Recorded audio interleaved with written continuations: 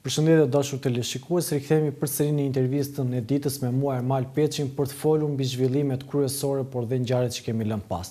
Në fakt fokusi kryesor përsëri apo opinioni publik aty ku është shqetësimi më i madh është gjendja e opozitës. Në fakt gjatë disa ditëve ka pas një mbledhje dhe ka pas debate të forta të një vendimi të kryesisë së Partisë Demokratike për të hapur garën për zgjedhjet për kryetar të Partisë Demokratike, po ka pasur diskutime të forta ku ka ardhur dorëheqja e Jorita Tabakut, më pas ka pasur dhe një reagim të zotit Gazment Bardhi i cili e ka lënë mbledhjen përgjysmë po për të folur këto dhe çfarë do ndodhi me Partinë Demokratike duke përfshirë dhe pjesën që mbështetin zotin Berisha, por dhe pjesën e deputetëve të cilën janë asnjanës, kemi të ftuar në studio zotin Ibsen Elezi, zoti Elezi, faleminderit që erdhët.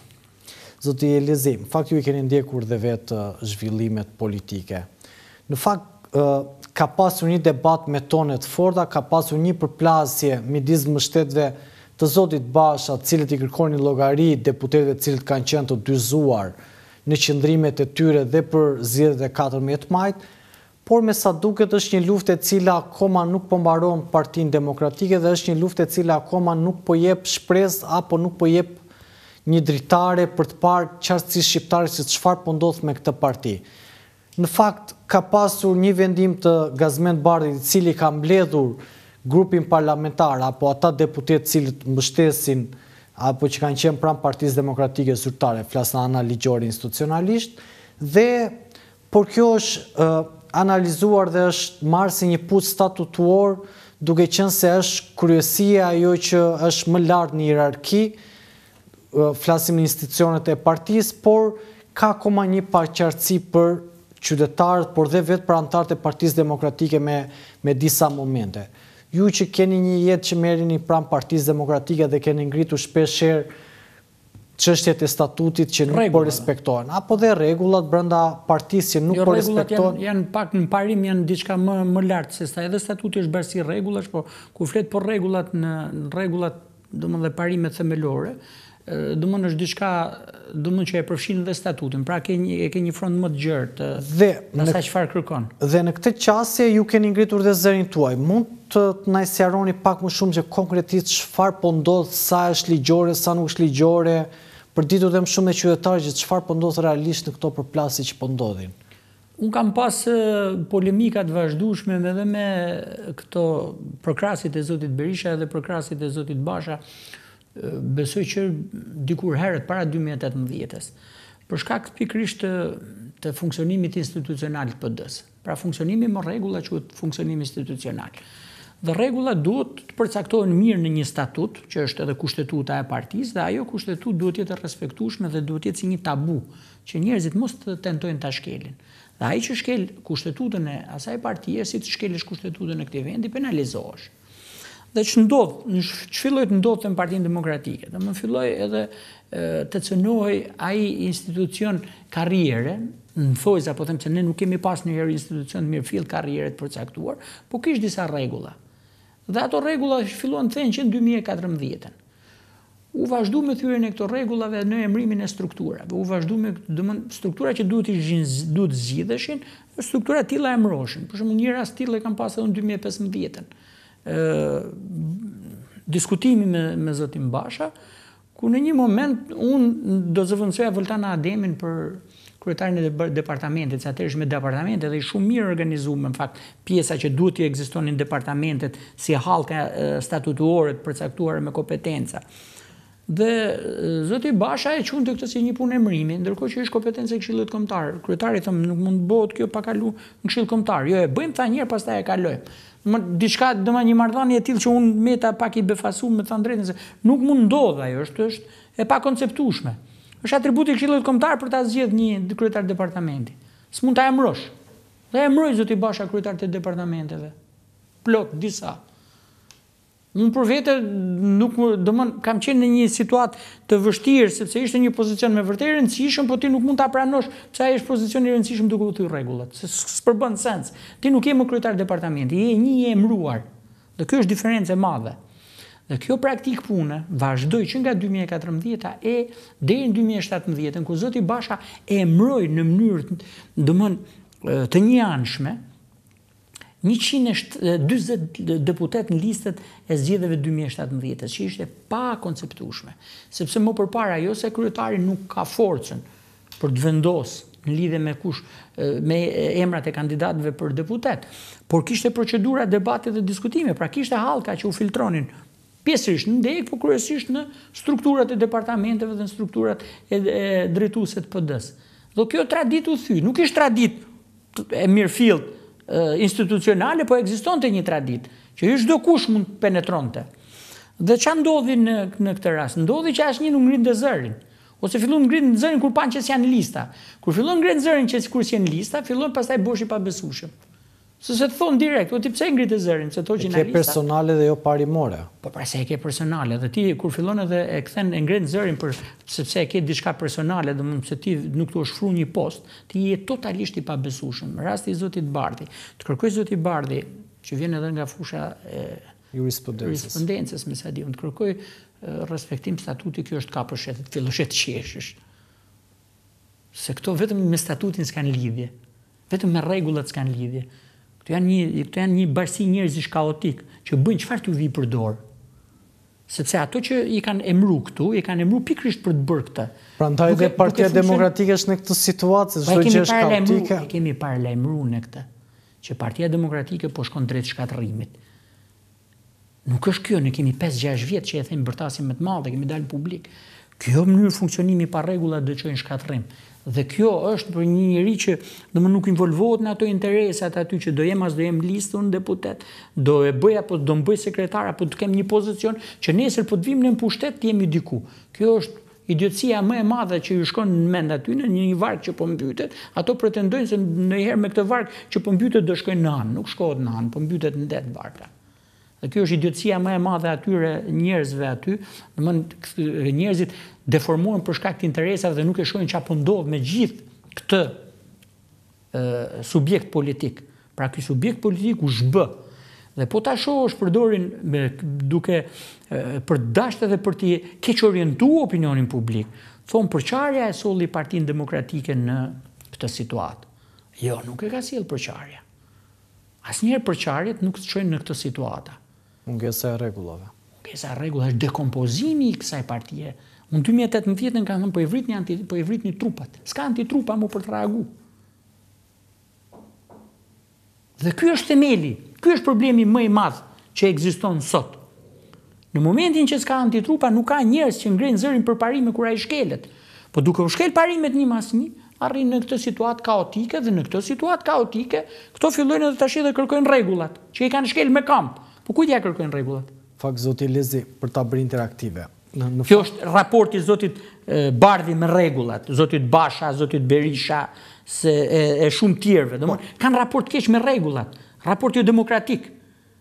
Pra në në në thelbin e në thelbin e, e, e tyre këto mundohen të respektojnë një kategori rregullash sa herë ju vjen për shtat dhe ju interesojnë dhe të shkelin gjithë rregullat e tjera kur je me mua je mirë kur je kundra me kjo është kjo është situata që na ka çuar në këtë pikë edhe mosbesimi i opinionit publik se pastaj të sheh për shembull zoti Berisha bërtiste zoti Basha i cili manipuloi proceset e di kur kanë filluar proceset hapur të manipulohen pa pikë turpi Domethënë, unë jam befasu edhe me miqtë e mi. Kemi në 2018-ën, në dhjetor 2018-ës u realizu kuvendi, ndërkohë që ne kërkonim largimin e Bashës sepse po e shkatërron PD-në. Në 2018-ën, në dhjetor, organizohet kuvendi i parë i Partisë Demokratike me parimin 1900 karrike në 5000 e sa votues. Kjo është tallje. Dhe ti mund të tallesh me ato demokratët aty, e ke parasysh një pjesë s'e kuptojnë dhe një pjesë kanë interes. Po. Sepse mbyllin gojën, po mediokriteti dhe injoranca, të çon në mbylljen e gojës kur ti mendon që duke qenë anëtar i Këshillit Kombëtar do vish vetë në pushtet. Siç Domethënë është është njerëz, njerëz jo jo vetëm të injoranca, po injoranca me një pjesë edhe karakteret e deformume në pjesë. Zoti Llezi, në fakt ka qenë mungesa e meritokracisë apo mungesa e shkeljes së rregullave që fakti që Partia Demokratike nuk ka arritur dot ta ta ndajmë meritokracinë me shkeljen e rregullave. Shkelja e rregullave është të funksionojë një herë gjithë hallka institucionale në rregull, të funksionojnë hallkat e partisë, ndërsa meritokracia ose institucioni i karrierës. Sepse meritokracia ça do të thotë? Njerëzit që kanë rrugë për të bërë karrierë dhe n'atë bazë që kanë vlera dhe vlerat të ngrenë sipër. Dhe këtu ka një bazë që nuk ka pas ndonjëherë, nuk ka. Meritokraci nuk ka as në administratën shtetërore. Jam shumë dakord. Meritokraci domethënë si koncept në i gjithë sistemi, i gjithë sistemi shtetëror politik, kudo, mund ta fusësh edhe në edhe në në në në çdo proces në hallkat private. Meritokracia nuk është një institucion që është i përcaktuar qartë. Po, është shumë sepse, subjektiv. Pse, pse e lënë subjektive? E lënë subjektive me qëllim. Sepse po të vendoset meritokracia, titullari ka shumë pak në dorë në raport me, me përzgjedhjen e figurave, pse, sepse figurat kanë përzgjedh veten e vet me karrierën edhe me performancën politike. Dhe ka qenë kjo një arsye që sot Partia Demokratike realisht nuk ka politikanë por duken si nënpunës duke qenë se bëjnë qëndrime që shpesh Prodhon figura, kur nuk ka karrierë politike, prodhon figura fallco si Gazmend Bardhi, Salianji, Ku di unë kush janë ato, janë kjo... Po ka disa që aty janë... Ka nga këto që domethënë këto ngrejnë zërin, vetëm atëherë kur kanë një arsye të fortë për të ngritur zërin, për shembull, ose deformohen, për një muaj kanë ekstrem, si ky Salianji, një muaj kap shkopin për t'u rënë demokratëve në kokë, muajin tjetër kap shkopin për të do të qëllojë Gaz Bardhin, domethënë këta janë njerëz të deformum, me këto nuk mund të bëjë as Partia Demokratike as shoqëria përpara. Këto janë janë për t'u marrë për etalon, për etalon i turpit në politikë. Njerëzit e etalonit turpit do t'i servirin tash si zgjidhje politike. Kështu këtu marron, nuk ka progres, nuk ka zhvillim këtu. Janë njerëz të etalonit turpit edhe njëherë. Kanë vjedh votën bashkarisht. Gazmend Bardhi dhe soj sorollopi i vet. Po e them, domthon gjithë ato që janë përreth, në mënyrë të organizume kanë deformu procesin e e votës lirë në një parti. Po deformove procesin e votës lirë, ke deformu partinë dhe gjithë politikën. Dhe nuk mund të kërkosh sot llogari Edi Ramës. Pra këto në vend që të jenë të akuzuar, këto kalojnë në rolin e të akuzuarit, të akuzuesit, po. Dhe këto janë njerëz gjithë që janë nën akuzë. Kanë vjedh votën. Duhet duhet t'u ndërpritet karriera politike. Veprimin e parë kur kam kandidu me zotin Berisha nuk e kam bërë kot. Tetë persona që duhet largohen për shkak se kanë firmën, ndër to ishte edhe Belind Këlliçi. Ky Salianji nuk ishte se s'ka qenë në proces për të manipulu. Po kishin firmat. Në sallë një mijë e nëntëqind vetë kanë shkruajt kanë firmos janë pesë mijë e sa. Dhe automatikisht t'i ndërpritet karriera. Si mund marrësh ti përsipër, të manipulosh hapur opinionin publik, t'i bësh budallenj, jo t'i manipulosh. Se kur i manipulon pa u kuptuar hapet debati. Po ky është manipulim i hapur dhe sot kërkosh ti të vendosësh rregulla. Çfarë rregulli? Po ti rregullin më themelor e shkel me dy këmbë, nuk ka kuptim rregulla të tjera. Është si të të them unë ty ndërto vendos tullat në një pallat kur Themelet e pallatit i kam shkatërru. Dhe i vendos tullat kot se të rrëzohen të gjitha ato. Fakt zoti. Kjo është situata politike në Parti Demokratike. Pra, të gjithë keqdashësit, manipulatorët që thonë që Partia Demokratike vjen këtu janë manipulator ato ose injorant, dy kategori. Janë inteligjent manipulator ose injorant ato që thonë që përçarja ka sjell PD-n këtu. Domethënë u përçanë këto e erdhën, se po, po mos ishin përçar këto do mundnin Edi Ramën, që s'e mundën dot kurrë. S'e mundën dot. Po s'e mundën dot. Kështu që du ta theksoj, janë manipulatorë, kushdo opinion publik që ngjon një politikan që thotë ose një analist, duhet ta kategorizoj o injorant ose keqdashës. Po në fakt, sepse qartësia është, është munguar dhe qartësia e Partisë Demokratike për vizion, sepse mungesa e rregullave, mungesa E rregullave dhe zbatimi i statutit e kanë sjellë këtë parti duke qenë se shpeshherë shumë elementëve politikë.... A shpërbëhet edhe organizmi i njeriut me rregulla. Prishi disa rregulla shpërbëhet gjithë organizmi, nuk mjafton gjithë rregullat. Katër pesë rregulla kryesorë në organizmin e njeriut, po mos të funksionojnë, automatikisht organizmi vdes organizmi. Kështu që edhe këto e kanë çu drejt vdekjes organizmin. Zoti Elezi ndër të tjera ka ardhur dorëheqja e Jorida Tabakut, por tashmë duket sikur Të katër nënkryetarët që janë zgjedhur në dy mijë e njëzet e njëshin, duke nisur nga zoti Enkelejd Alibeaj i cili dha dorëheqjen pak më pak para zonjës Tabaku, Alfred Rushaj, Grida Duma dhe tashmë Jorida Tabaku po dorëhiqen nga posti i nënkryetares të Partisë Demokratike. Dorëheqjen e zonjës Tabaku si e shikoni? Është një mosrakordim me vizionin që ka marrë apo me vendimin që ka marrë kryesia? Tashi të them unë një diçka. Kuvendin e njëmbëdhjetë Dhjetorit unë nuk e kam mbrojt si kuvend Sali Berishës, po e kam mbrojt si kuvend demokratëve. Po. Ishin dy kuvende, njëmbëdhjetë Dhjetorit dhe i tetëmbëdhjetë Dhjetorit. Po, në fakt ka qenë dy. Kuvendi i tetëmbëdhjetë, njëmbëdhjetë Dhjetorit është i verifikuar me emra, me deklarime personale, që shumica e Kuvendit ishin prezent. Kuvendi i tetëmbëdhjetë dhjetorit ishte manipulim, sepse nuk u deklaruan dot as emra, asgjë. Po ti mban mend Kuvendin e njëmbëdhjetë dhjetorit shkonin te dera PD-së gjithë delegatë dhe konfirmonin prezencën e tyre, pas dorëzimit të listave. E qëllimshme apo jo rruga e foltores, për mos qenë institucional në gjithë këtë proces, ky është temë tjetër debati, sepse shih ç'ndodhi me foltoren atë kohë, se këtyre, po t'i shohësh lëvizjet gjithmonë kanë ca pikëpyetje, që të çojnë, domon, të çojnë t'i, t'i, t'i, t'i etiketosh si, si, si, budallenj. Ti pse e kam rastin të e kam në rastin e foltores nga ana teknike. Foltorja kishte gjithë emrat e nevojshëm për ta thirr kuvendin, sepse një e treta mjaftonin, ato kishin rreth 3000 a 4000 emra. Pse nuk i dorëzon edhe te Gazi edhe te Edi Paloka? Ç'është kjo kokëfortësi?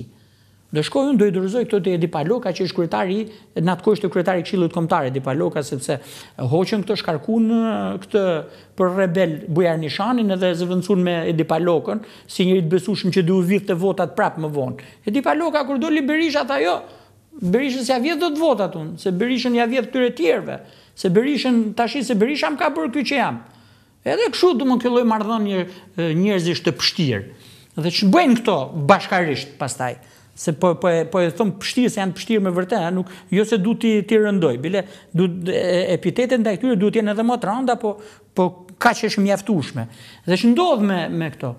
Nuk shkojnë dorëzojnë te kërkesën zyrtare në parti, po e dorëzojnë te Edi.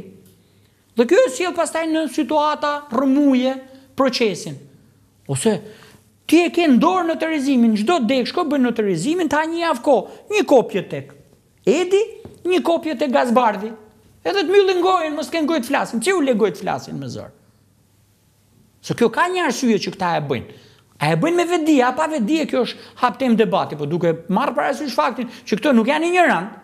Këto e bëjnë me vetëdije, pra këto e bëjnë për ta majtë situatën e rrëmujshme në Partinë Demokratike dhe për të kriju mos kriju një kontur të qartë lëvizjes së vet, por diku aty për të fut një një mish dhie dhe për ta ngatërruar gjithë situatën. Ikim edhe nga kjo.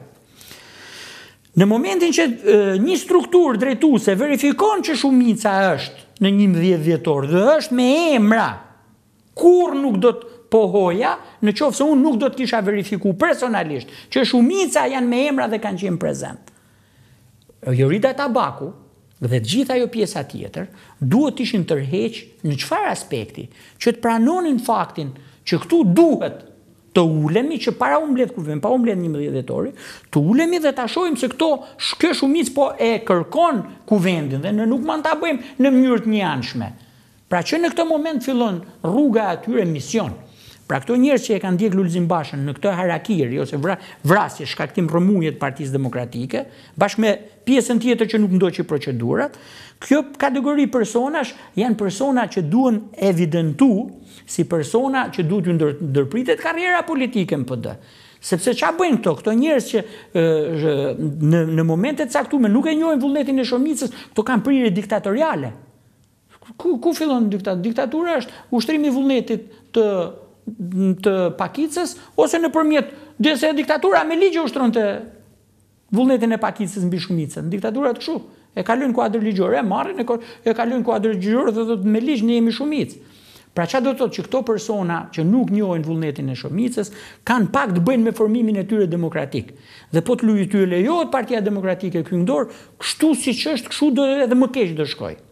Dhe në këtë moment që e kanë nda këto, sipas mendimit tyre, nuk e kanë nda partinë demokratike në dy pjesë, siç thonë, po partia demokratike është një pjesë e vogël e Lulzim Bashës, një pjesë minorancë prapë e Sali Berishës, dhe shumica e demokratëve që janë nuk dinë ça të bëjnë më. Kjo, kjo është dhe, kjo është hera e fundit që partia demokratike ka marrë, po pati këtë prezantim me opinionin publik, është hera e fundit që ne arrijnë të marrin 500 e sa mijë vota. Sepse këto pesëqind e sa mijë vota Partia Demokratike i kërkoi me frymën anti-Rama. Dhe po të shohësh si u soll Sali Berisha, nuk është serioze për sa për Lul Bashën. Do doja të pyesja pak, do doja. Për Lul Bashën është gjithçka mund të bëjë, po për Sali Berishën të thojë që këto vota ne i kërkuam për të rrëzu Ramën dhe pastaj thotë janë votat e Sali Berishës këto, kjo s'përbën sens. Kjo ishte sepse pas pas vendimit apo pas zgjedhjeve të katërmbëdhjetë majit, Sali Berisha doli dhe mbajti fjalimin dhe tha që këto pesëqind, pesëqind mijë vota janë votat e mia të paktën. Apo dhe pjesa... Sepse s'mundet ta thojë atë. Sepse... Po është ajo, ajo, ajo, domethënë, e para një, duhet t'jetë i ndershëm me veten e vet. Ai po filloi rren, mashtron veten e vet, siç e mashtrojnë ata përreth. Legjenda, lideri historik. Ai lideri historik është se, së ta si a heqa... E ka treguar historia, se nuk është... S'e ka treguar historia që po. është një histori. Po ka momente t'caktume, për shembull që njerëzit degradojnë. Edhe politikisht degradojnë edhe edhe si politikan. Dhe zoti Berisha duhet ta kish rujt veten po të kish largu me dinjitet nga dy mijë e trembëdhjetë zoti Berisha pavarësisht shumë problematikave në PD do ishte një figurë e nderuar në spektrin në në në spektrin politik. Ndaj të njëjtin mendim me Në momentin që zoti Berisha u fut në mbështetjen e Bashës, në shkatërrimin se është bë pjesë dikur indirekte tash direkte. Zoti Berisha po merr një kosto të madhe që do dalë shumë keq nga skena politike, sepse do dalë me një me një parti e cila në vitin nëntëdhjetë e një nëntëdhjetë e dy bëni rrëzimin, po jo për shkak të meritave të zotit Berisha, ai pat merita, po jo gjithë meritat kanë qenë të zotit Berisha, se këtu ka diferencë të madhe, deri në dy mijë ku e dinim ne kush është zoti Berisha. Ne jemi çu me rrëzu komunizmin. Ata që ishin demokratë me 11 dhjetor, nuk u çun de facto se, sepse donin t'sillnin zotin Berisha patjetër në krye t'PD-së. U çun për të rrëzu njëherë modelin Basha, sepse modeli Basha kishte përfundu me gjithçka. Këtë model që këto dun ta ringrenë, dun ta ringrenë domethënë nga hiçi, siç Zoti Lezi, siç pretendon Zoti Basha me një grup njerëzish aty, dhe thotë hajde të ndërtojmë ne një proces zgjedhor pa pas anëtarë. Pa pas institucione, kanë dy vjet. Institucionet e partisë, e di cilat janë, këshilli kombëtar është më i larti. Kuvendi kombëtar, këshilli, që, këshilli kombëtar zgjidhet nga kuvendi. Dhe kuvendi mblidhet një dy ose në katër vjet. Këshilli kombëtar mblidhet në mënyrë periodike, një në tre muaj. Këto nuk e kanë mbledh kuvendin, kryesi nuk e kanë mbledh. Këto struktura gjykatë partie s'kanë pas ndonjëherë. Domthonë këto nuk kanë institucione. Po të shkosh në gjykatë dhe ta marrësh në analizë Partinë Demokratike nga dy mijë e tetëmbëdhjetë e këtej, pothuajse është shkri si parti politike. E kanë shkri këto nga ana institucionale e kanë shkri.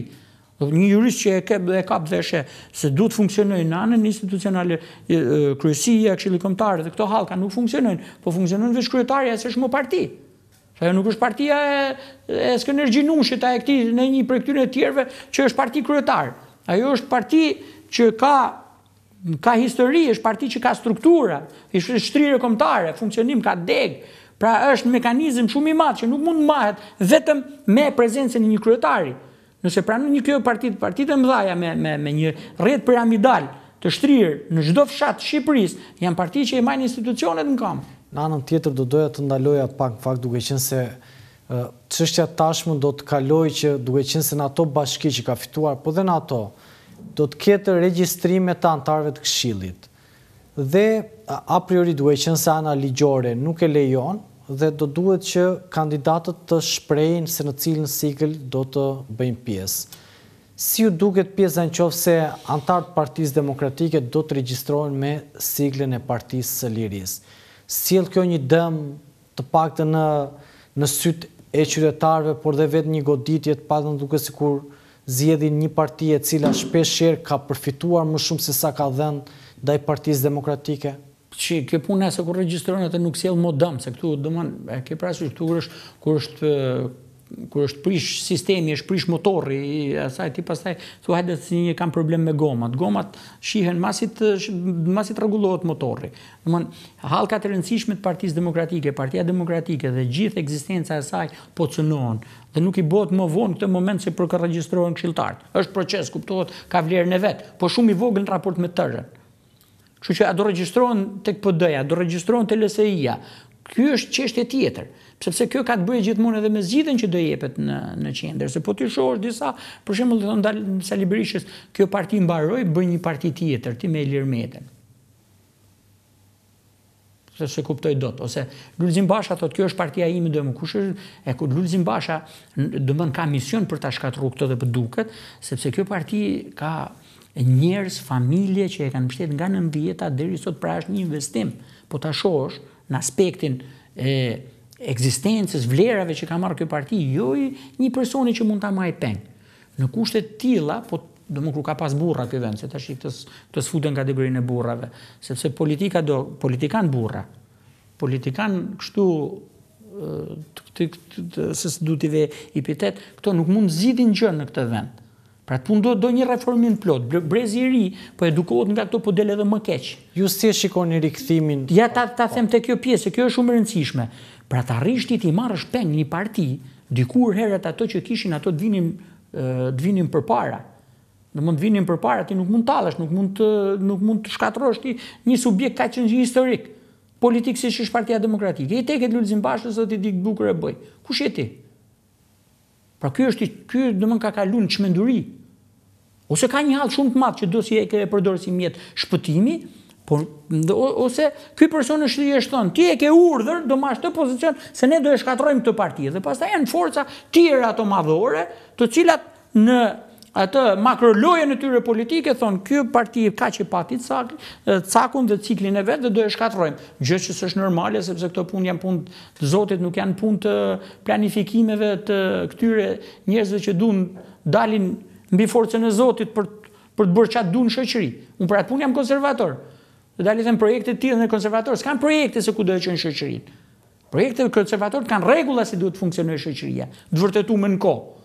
Dhe kjo është edhe ajo çfarë duhet ndodh në Partinë Demokratike sot. Në Partinë Demokratike sot beteja e këtyre pjesës më të madhe që janë të papërfaqësuar dhe nuk kanë si përfaqësohen sepse e kanë bllokuar zoti Berisha në një krah dhe zoti Basha në një krah, që të dy bashkë nuk bëjnë as 30% në PD. Me gjithë njerëzit e mashtruar, këto njerëzit tjerë duhet në momentin që nuk organizohen, ato që e kuptojnë çfarë po ndodh, kuptohet do ta lënë pa përfaqësi dhe këto mund ta çojnë drejt shkatërrimit. Po unë nuk e besoj që do ndodh kjo. Në anën tjetër, duke qenë se folëm për lëvizje konservatore tashmë, Dhe Viko Kalari ka shpallur që do të bëjë një lëvizje konservatore në Shqipëri. Mendoni që ka hapësirë që këto lëvizje në Shqipëri të kthehen në të suksesshme, midis gjithë këtij presioni që bëjnë partitë e mëdhaja apo liderat politikë për mos të lënë dhe vetë ndryshimeve kushtetuese dy mijë e tetë-ës që në fakt Duket që është shumë e vështirë për një parti që të ngrejë kokën apo një parti e re. Ju si e shikoni, zoti Vesic? Shih, në, ta, ta kapim në aspektin teorik edhe në aspektin ë praktik se si ç'ndodh. Në aspektin teorik, momentin që kjo parti do mbahet në këtë situatë ë ngërçi mes zotit Basha dhe zotit Berisha, ë duke mos leju që kjo parti do mund të futet në shtratin e vet institucional të funksionimit, kjo është zgjidhja, Nuk është zgjidhja se po bashkohen këto edhe po po gjejnë këto një zgjidhje ose të ikin këto edhe të lënë ca të tjerë, ato të tjerë që janë nxënësit e këqij këtyre. Imagjino po të ikin këto dhe të lënë ca nxënës edhe më të këqij se çfarë do bëhet me Partinë Demokratike. Pra zgjidhja është që në Partinë Demokratike të ketë njerëz me integritet që të mblidhen dhe të themi kjo parti nuk do ta lëmë të shkrihet kjo parti dhe do t'i dalim për zot. Dhe si i dilet për zot? Duke ushtru trysni Bashës, Berishës, që të ketë një proces gjithëpërfshirës, një proces me rregulla dhe ku edhe ato e kanë drejtën për të qenë pjesë dhe për të garu në atë proces. Sepse ti që do të vish dhe të largosh modelet e tyre duhet të jesh shumë demokratik edhe në pranimin e të keqes tyre. Pra, të keqen e tyre duhet ta vesh në provë në votë, se e keqja nuk mundet ta largosh ti në mënyrë të njëanshme. Po ta largosh njëanshëm, ajo do mbetet aty. Po të ulesh të ballafaqohesh me votë dhe të fitosh, t'u mushësh menjen demokratëve, ti ke rrit edhe partinë demokratike nga ana morale dhe e ke ndryshu dhe e ke bashku atë parti. Se në momentin që palët tjera humbasin me votë, ato nuk i ndjek më njeri Bashën, Berishën, qoftëse do të përballen me votën, sepse shumica thotë, vota anoi nga ky dhe ne do shkojmë nga ai se është rregulli i demokracisë. Pra kjo është ajo çfarë duhet ndodhë, ndërsa për rastin e një partie të re, këtu si rregull partitë e reja nuk kanë funksionu për një arsye, sepse duhet një organizim piramidal i këtyre partive që kërkon shtrirjen në të gjitha bashkitë dhe shtrirjen edhe në të gjitha njësitë vendore në këto është njësoj si një rrjet. Pra duhet ndërtosh një sistem piramidal që shtrihet deri shtrin rrjetin e vet në gjithë Shqipërinë, që ti të jesh parti konkurruese për të fitu zgjedhje, parti konkurruese për të marrë pesë vota ose për të qenë prezent në parlament, se ne po flasim gjithmonë për parti konkurruese që arrin bëhet shumicë në parlament, që mund Edi Ramën. Parti shumë që bëhen pesë vetë, dalin janë të pëlqyeshëm, i marrin 20000 vota, hyn në parlament dy vetë. Kjo nuk është zgjidhja. Dhe rastin e zonjës Kokalari nuk e di se si unë me zonjën Kokalari kam kohë që nuk komunikoj për shkak pikërisht këtyre gjërave, sepse kur zonja Kokalari ishte në G29 edhe ishte në prezent momentin që këtu shkeleshin rregullat, unë kam pas debate shumë të ashpra për shkak të asaj, se unë s'hyj n debate në Po, nuk hyn nuk hyn debate për çështje me njerëz të cilët nuk më kanë dalë përpara të ai të ajo pjesa e rrugëtimit tim. Dhe zonja Kokalari domon e argumentonte që janë normale mungesa e debatit, ë ai premtimi për premtimi që thamë ne për për një garë kompetitive, domon listat, votat, domon këto të i dukeshin të tepërta në atë kohë. Dhe thoshte mbyllni gojën se ne kemi qëllim të rrëzojmë zotin Rama. Në fakt dhe zonja Kokalari për qëndrime parimore. Jo, zonja Kokalari tash i ka fillu dhe artikulon tezat tona. Dhe merret me persona për shembull që të cilët normalisht i kanë thyer vërteta që thotë. Ato që thotë zonja Kokalari në pjesën më të madhe të rasteve sot janë të vërteta. Por problemi është se ajo e ka një problem moral në të gjithë këtë. Sepse kur ndodhin fenomenet duhet të flasësh. Ti nuk mund të kthehesh sot dhe ti të dhe t'thush në kohën që isha unë dhe i mbrojta shkeljen e shkeljen e votës ose fenomenet jo demokratike në parti, i mbrojta për të mirë të kauzës. Cilës kauzë? Kush mbron thyrjen e rregullave dhe parimeve themelore të demokracisë? Vetëm kauzë nuk ka. Se pa mbrojtur rregulla nuk ka kauza, nuk funksionojnë kauzat. Ky është raporti dhe zonja Kokalari do ta ketë shumë të vështirë. Ajo do ta mundojë ka terren çdo grupim persona sidomos kur kanë pikëpamje të djatha sepse këtu spektri politik çalon nga e djatha në Shqipëri, por mundësia për t'u shtri në të gjithë Shqipërinë dhe për të qenë kompetitiv është shumë i vështirë sepse kërkon të jemi realist kërkon edhe financa. Kërkon shumë financa. Që ti të arrish ti se ti do mbulësh median, Do të thotë që duhet të kesh persona, ti duhet të mbulosh, duhet të kesh specialista fushave të ndryshme, sepse do flasësh për çështje të ekonomisë, drejtësisë, sociale, arsimit, pra duhet të kesh. Pra rrjeti që ti duhet të organizosh është një rrjet shumë i gjerë që kërkon edhe financa dhe kjo pastaj e bën pothuajse të shumë të vështirë, jo të pamundur, shumë të vështirë për të ndërtuar një forcë e re me frymë për t'u bërë maxhoritare. Në anën tjetër do doja të t'ju pyesja pak zoti Elezi, Para disa ditësh ka ndodhur një zhvillim nga SPAK, ku është arrestuar Vangjush Dako. Ju si e komentoni arrestimin e Vangjush Dakos? Në fakt, akuza për cilën ai është arrestuar është një akuzë për shpërdorim detyre, por ndërkohë, shumë pikëpyetje janë ngritur sepse emri i Vangjush Dakos ka qenë dhe në përgjimet e ndërkombëtare, mos harrojmë dosjen tre tre nëntë dhe Tashmë duket si pak një arrestim i vonuar por gjithsesi ju si e komentoni këtë pjesë?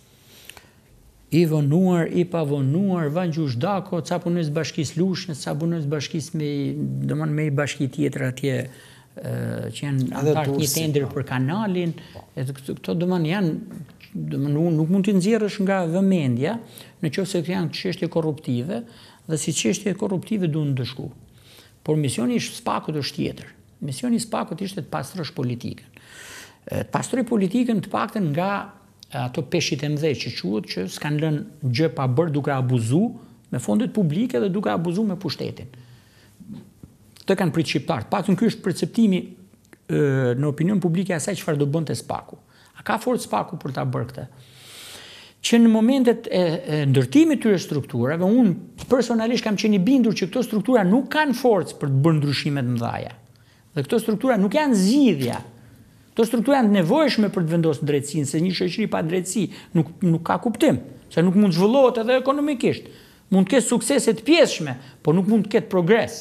Pra drejtësia është në themel, po drejtësia nuk mund ta zgjidhë problemin kryesor, e cila e çon përpara që është motorri, është politika, sepse aty vendoset kush do marrë drejtën e qeverisjes dhe kush do ketë autoritet pikërisht për të ndërhyrë në këto sisteme për t'i përmirësu. Që këtu ka qenë vullneti, jo për t'i përmirësu, po ka qenë vullneti për t'i pengu, ose për t'i kap peng institucionet e drejtësisë. Pra SPAK-u çfarë mund të bëjë në maksimumin e vet?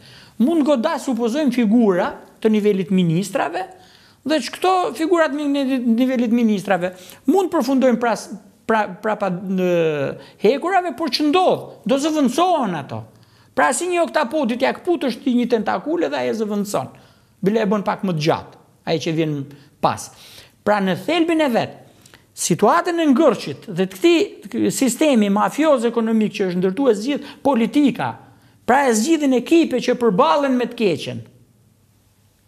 Pra ekipe që e mundin moralisht dhe filozofikisht të keqen. Pra nuk mund ta mund SPAK-u këtë. Dhe perceptimi i njerëzve është i gabum. Dhe i gjithë kujt, se e shoh dhe analistave. Në qoftë se ne nuk ndryshojmë, o loja në lojtar në fushë janë pikërisht partitë politike, subjektet politike. Dhe ti duhet të futësh një ekip me një model që t'i mund këto. Ndërsa SPAK-u në në rast nuk është as gjyqtari, ë, po është një njeri që vendos nëse diçka është e mirë apo e gabuar. Është e ligjshme apo e paligjshme. Dhe SPAK-u kuptohet, do ketë edhe trysninë e politikës, se politika që ndodh. është si të jetë SPAK-u VAR-i atje, po, po e kapim që nuk është tamam krahasimi i goditur, po, po të jetë edhe tifozat dalin e bërtasin. Kur tifozat dalin e bërtasin, gjyqtarët patjetër që vijnë në siklet. Dhe kjo lloj situate, domthon raporti i politikës, partive, subjekteve politike, SPAK-ut dhe asaj çfarë po ndodh në Shqipni, njerëzit duhet t'i kenë të qartë. Pra SPAK-u është një institucion që ato presin, njerëzit presin gabimisht më shumë se ç'duhet. Sepse duke e pas të pamundur pjesën e politikës, thonë këtu është kap, vjen edhe ta rregullon SPAK-u. Si e rregullon SPAK-u politikën? SPAK-u s'ka forcë mbi politikën. Do duhet të ketë një bashkëveprim dhe qytetarët po bëhen të ndjeshëm. Po se s'ka forcë SPAK-u që të korrigjojë politikën, SPAK-u mund të kapë individ t'caktum të politikës dhe i dënon, e pastaj, ika unë dhe vjen tjetri që i ka tentakulat më të gjata se unë. Ça zgjidhje boni SPAK-u, asgjë. Pra në thelbin e vetë, zgjidhjen duhet ta kërkojmë te politika, Sepse kështu u ndërtu dhe funksionon sistemi dhe politika është ajo që duhet reformu dhe këtu për t'u reformu politika e vetmja rrugë thashë edhe një herë është ose një forcë e re politike që është shumë e vështirë, që e argumentum, po ka shumë terren në këtë moment, pse ka terren, sepse opozita është në pikën më të keqe të sajën. Dhe kur opozita është më të keqe, pikën më të keqe të sajën, mund të pretendohet një forcë e re të marrë elektorat nga opozita dhe ajo çfarë unë ka vite që i mëshoj më shumti është që Partia Demokratike duhet bërë nga e para Dhe duhet bërë me rregulla. Po jo Partia Demokratike siç e konceptojnë një pjesë këtu, që rregullat vijnë vetë. Domthon këto që i kanë shkel rregullat, tashi do ju mbushet një ditë mendja se kshu e konceptojnë një pjesë dhe do të fillojnë do të thonë tash bëmë ça bëmë ne ta fillojmë ta vëmë me rregulla partinë. Nuk e vënë dot këta. Si t'i thush hajdutave, bët ça bët tashi mos vidhni më. E ka profesion ai, e ka në gjak që do vjedhi.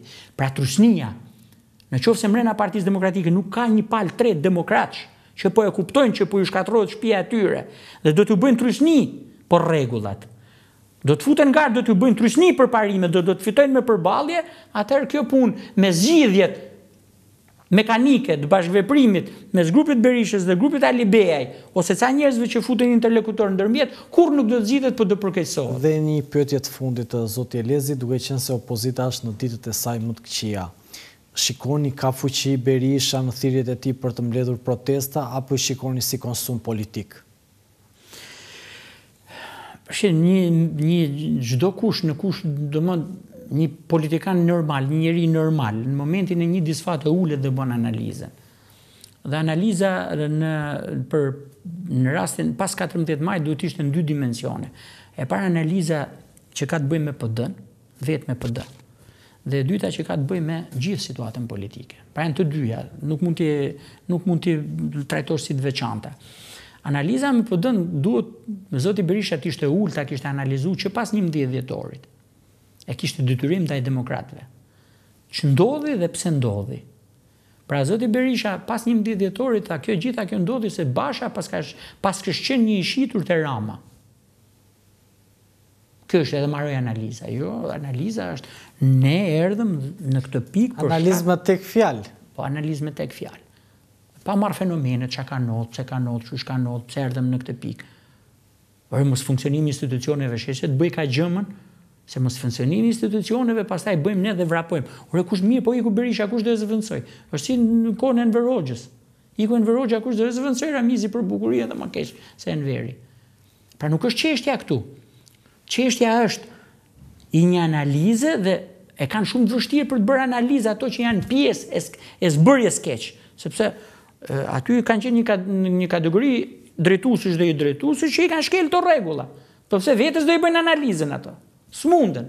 Nuk ka njeri që domthon kalon mbi veten dhe mund t'i bëjë analizën e saktë vetes vet, se është një konflikt interesi.